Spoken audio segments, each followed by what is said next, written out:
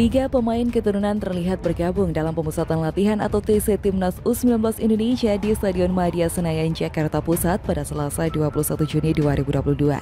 Mereka adalah Kai Davi Boham, Jim Kroku, dan Max Christoffel.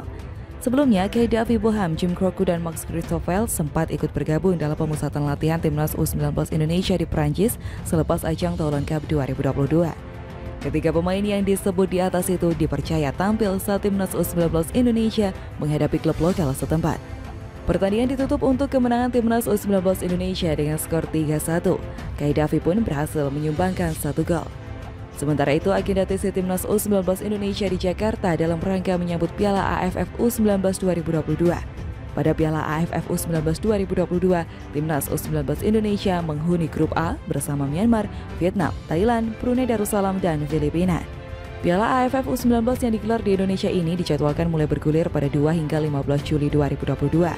Dua venue bakal dipakai untuk Piala AFF U19, yaitu Stadion Madia Senayan Jakarta Pusat dan Stadion Patriot Chandrabaga Bekasi. Di sisi lain, selain menjalani pemusatan latihan, Garuda Muda akan melakukan uji coba untuk mematangkan persiapan. Striker Timnas U19 Indonesia, Hoki Caraka, menyatakan bahwa dirinya sudah siap mengikuti turnamen Piala AFF U19 2022. Apalagi dia bersama rekan-rekannya baru saja digembleng di turnamen Toulon 2022 Prancis pada akhir Mei hingga pertengahan Juni ini. Hoki tak hanya bertekad mengukir hasil terbaik di Piala AFF U19 2022, dia juga ingin semakin berkembang agar bisa tampil maksimal di kualifikasi Piala Asia U20 dan Piala Dunia U20 tahun depan. Hoki sendiri merupakan salah satu bom berpotensial yang dimiliki Indonesia. Saat berlaga di turnamen Toulon 2022, pemain kelahiran 2004 itu mampu menunjukkan pesonanya. Pada laga fase grup kontra Ghana, aksi sang pemain mampu membuka kesempatan rekannya Raka Cahyana menjebol gawang Ghana dan membuat Garuda menang 1-0. Hasil 1-0 atas Ghana pun membuat Garuda membukukan kemenangan perdana sepanjang keikutsertaan di turnamen Toulon. Sayangnya ketika bersua Venezuela dan Meksiko, timnas U19 Indonesia belum berhasil menang sehingga tak lolos dari fase grup. Kendati demikian, timnas U19 Indonesia yang kala itu dipimpin Zenan Radonsik telah memetik banyak pengalaman untuk berkembang. Lebih lanjut, PSSI menyiapkan venue dua tempat untuk ajang ini, yakni Stadion Patriot Candrabaga Bekasi dan Stadion Madia Senayan Jakarta. Sebagai informasi dari jadwal yang sudah ada, menariknya menempatkan Garuda Nusantara selalu kick off di malam hari dalam laga fase grup. Dan berikut jadwalnya. Sabtu 2 Juli 2022 pukul setengah 9 malam Timnas U19 Indonesia versus Vietnam. Senin 4 Juli 2022 pukul 8 malam Timnas U19 Indonesia versus Brunei Darussalam. Rabu 6 Juli 2022 pukul 8 malam Timnas U19 Indonesia versus Thailand. Jumat 8 Juli 2022 pukul 8 malam Timnas U19 Indonesia versus Filipina. Dan Minggu 10 Juli 2022 pukul 8 malam Timnas U19 Indonesia versus Myanmar.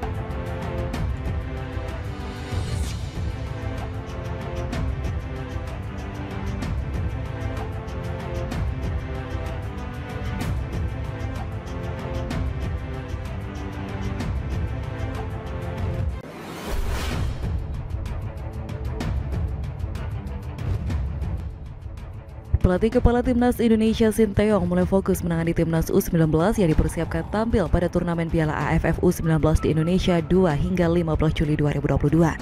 Ia pun menggembleng Ronaldo Kuate dan kawan-kawan, mulai dari fisik, skema permainan hingga sentuhan bola.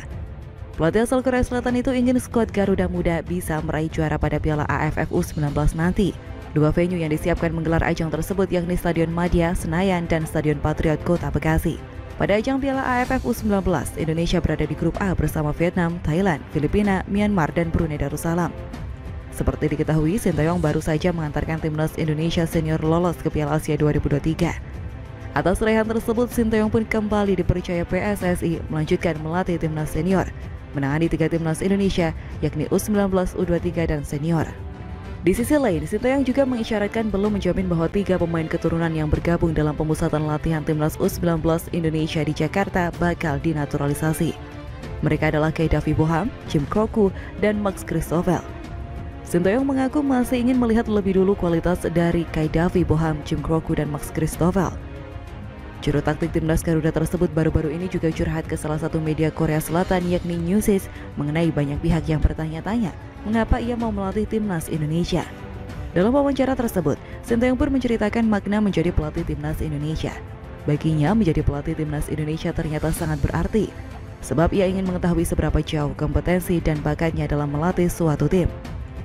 Sinteyong sejak awal tahu bahwa melatih timnas Indonesia tidaklah mudah, apalagi banyak tawaran yang masuk kepadanya bisa dikatakan jauh lebih baik ketimbang menangani skuad Garuda. Pelatih berusia 51 tahun itu sempat mengaku mendapatkan tawaran melatih klub di Liga Cina yang tentunya menyuguhkan gaji yang lebih fantastis. Namun Sinteyong tetap memilih mengambil pekerjaan melatih timnas Indonesia karena merasa tantangannya jauh lebih menantang. Melatih di Indonesia ini adalah lokasi yang baru. Saya ingin memiliki tantangan. Saya mau mengevaluasi diri saya kembali di tempat yang baru dan mengetahui seperti apa kompetensi dan bakat yang saya miliki. Ucapnya, ketika saya pertama kali melatih di Indonesia, banyak orang-orang dekat saya yang mempertanyakan keputusan saya itu. Mereka menyebut masih banyak lokasi tim yang bisa dilatih yang jauh lebih baik. Lanjutnya, kini Sinteyong tampaknya sudah semakin yakin bahwa keputusannya melatih timnas Indonesia adalah keputusan yang tepat, sebab ia mampu membuktikan diri dengan mampu membawa timnas Indonesia berprestasi.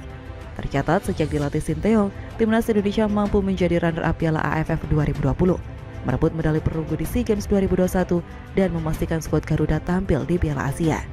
Bahkan peringkat FIFA timnas Indonesia naik sangat drastis di tangan Sinteyong, pada awalnya timnas Indonesia berada di peringkat 175.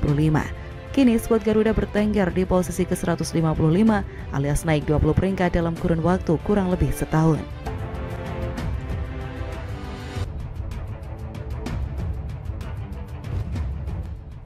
Duta Besar Indonesia untuk Kuwait Lena Mariana memuji habis-habisan supporter yang mendukung timnas Indonesia di Stadion Jabar Al Ahmad selama kualifikasi Piala Asia 2023 kemarin.